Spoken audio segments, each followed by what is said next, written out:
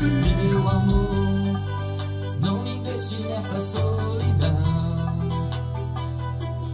Por favor, toma conta do seu coração.